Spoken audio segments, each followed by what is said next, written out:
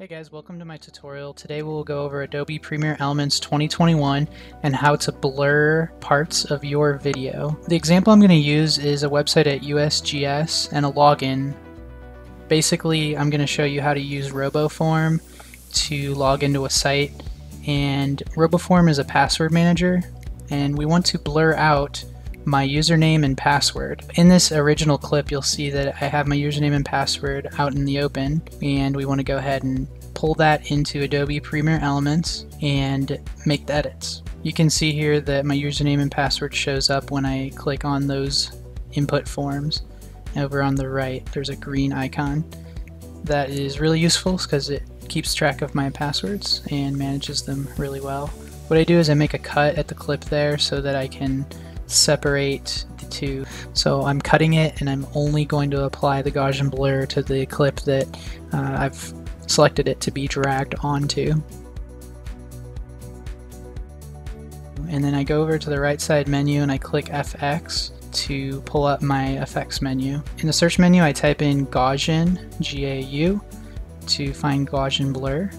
And then I click that drop down menu to select rectangle the next thing I want to do is situate the corners of the rectangle over the area that I want to blur. You can also do a circle or draw your own. I found the rectangle to be pretty easy, so I usually use it when I'm making blurred areas of my video. When I'm done, I go ahead and click that slider for the Gaussian blur and I increase the amount of blur. If you do this ahead of time, it becomes difficult to see uh, what you're trying to blur, so I always wait to the end. Once you get it over the area you like, you can play over it and make sure that it satisfies your amount of blurriness that you're going for. Here's an example of what it looks like when the video is blurred. You can see everything's blurred, you can't see my username and password anymore.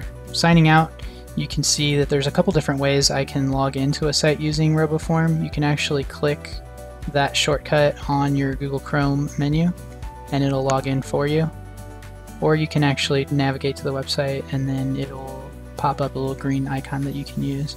If you would like to try RoboForm, you can go ahead and click the description of this video and there'll be a link to check out RoboForm. It is a basic way of protecting your passwords and I've been using it for about a year and it's been great. Uh, it creates stronger passwords for you. You can click a generate button. You can share your passwords securely.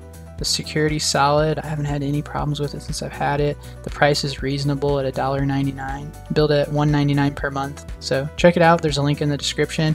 Hope this video showed you how to blur parts of your video in Adobe Premiere Elements 2021.